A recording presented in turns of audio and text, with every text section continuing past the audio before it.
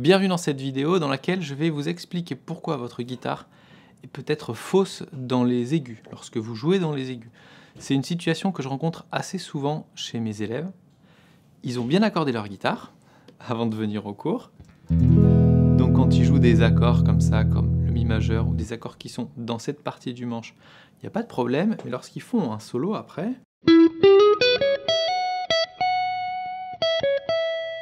Je ne sais pas si vous entendez, mais la corde mi aiguë là, elle est vraiment pas juste, elle est très basse en fait. Elle est fausse.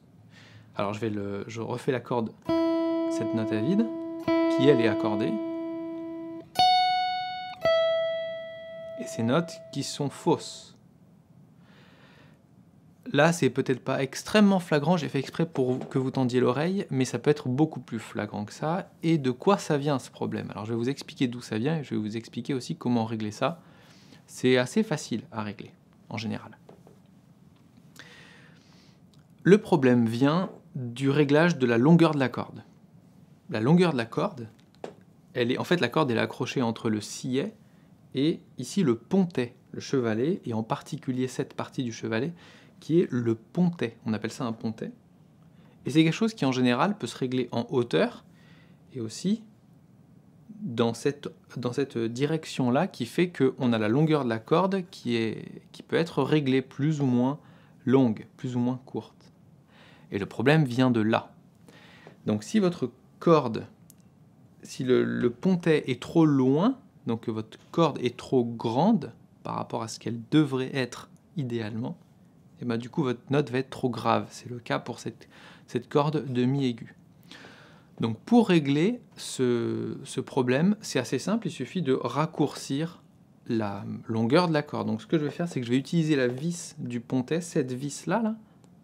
je vais la visser ou la dévisser, je ne sais pas, de manière à ce que ce pontet il se rapproche, ça va raccourcir la longueur de la corde, ensuite je vais la réaccorder, et après ça, lorsqu'elle sera accordée à vide, la note devrait être un petit peu plus juste. On va voir ça.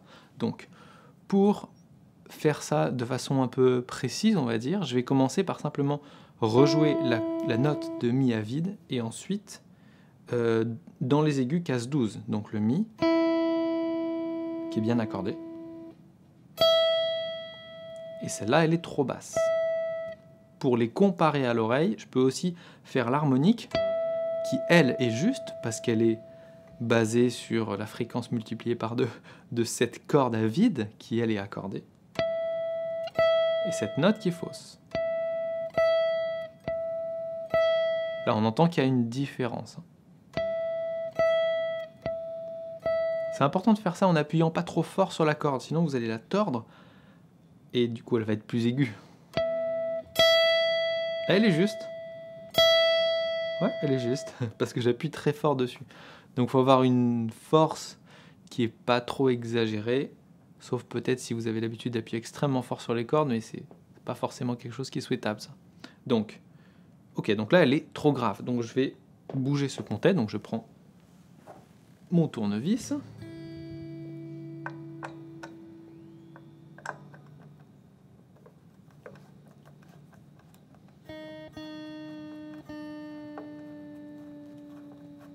Donc là, la corde, elle devient plus grave au fur et à mesure que je dévisse. Donc je vais tester par ici pour voir si ça convient. Donc je raccorde la corde.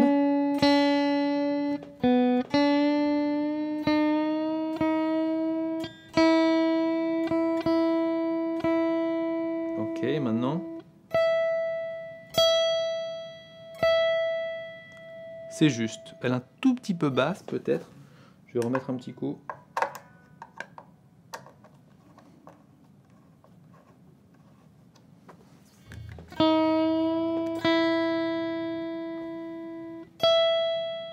C'est parfait. Ça m'a l'air bien. Ouais, ça m'a l'air bien. Ok, donc là, elle est réglée. Alors, j'ai fait ça sans désaccorder la corde, sans détendre la corde, mais dans certains cas, ça peut être souhaitable de la détendre. Ça dépend pas mal de la guitare. Là, en l'occurrence, la corde, quand je bouge le pontet, la corde, elle glisse un peu sur ce sillet qui est en plastique, et sur cette partie qui est en métal, et aucune des deux, a priori, est rugueuse. Donc ça ne va pas abîmer la corde. Mais dans certains cas, ça peut être souhaitable peut-être de, de desserrer, de bien détendre la corde avant de bouger le pontet. Donc ça j'espère que vous avez compris le principe. Si votre corde est accordée lorsqu'elle est jouée à vide et qu'elle est fausse lorsque vous, au fur et à mesure que vous montez sur la guitare, donc elle sera de plus en plus fausse au fur et à mesure que vous montez sur les frettes aiguës, le problème vient du réglage de la longueur de la corde. Et je crois qu'on appelle ça le diapason, longueur de la corde. Ça, c'est quelque chose qui va être modifié en fonction de la dureté de la corde, de sa résistance, on pourrait dire, et aussi de son diamètre. Donc ça veut dire que vous n'avez pas, pas besoin de changer le réglage des pontets lorsque vous gardez les mêmes tirants de corde, mais si vous changez de tirant, en particulier si vous passez d'un tirant, on va dire 0,7 ou 0,8 à 0,12 par exemple, ça va être vraiment important de tout régler parce que ben, ça va sans doute sonner assez faux. Ça, c'est valable pour ce genre de guitare qui se règle assez facilement. Le pontet, on peut même le régler en hauteur sur ce chevalet-là. Mais il y a des guitares où c'est pas le cas. Alors, je vais prendre d'autres guitares. Je vais commencer par ma guitare jazz. Ça, c'est ma Gibson, qui, elle, a un chevalet avec la possibilité de régler justement l'endroit où les notes, ou les cordes s'appuient. Donc, on va dire ben, les pontets, en fait. Je peux régler ces pontets. Ça, c'est pas le chevalet d'origine. Si ce chevalet a été rajouté par la personne à qui j'ai acheté la guitare, c'est notamment pour cette raison d'intonation. C'est le terme exact. Hein. on dit qu'on règle l'intonation de la guitare, c'est-à-dire le fait que pour une corde donnée, toutes les notes sonnent justes sur toutes les frettes de la guitare. Assez souvent, on n'a pas ce genre de chevalet. On a un chevalet comme sur mon ancienne guitare jazz, qui est une Epiphone que vous avez sans doute vu dans pas mal de vidéos, qui elle, c'est simplement une barre de bois, en fait, une barre toute droite. Et là, on ne peut pas régler aussi facilement que ça, justement, l'intonation. Donc il faut trouver un endroit, une orientation du chevalet et un endroit où ça sonne à peu, près juste. Et la manipulation est un peu plus compliquée que sur la strat de tout à l'heure parce que parce qu'il faut à chaque fois bien desserrer les cordes, il faut déplacer le chevalet, revoir si c'est à peu près le bon endroit, si c'est la bonne inclinaison. Voilà, c'est pour ça qu'assez souvent, lorsqu'on a trouvé le bon endroit, on prend une photo où on met une petite marque où on mémorise euh, l'emplacement euh, qui va bien pour, euh, pour le chevalet. Je vais prendre un, autre exemple. Ma guitare manouche.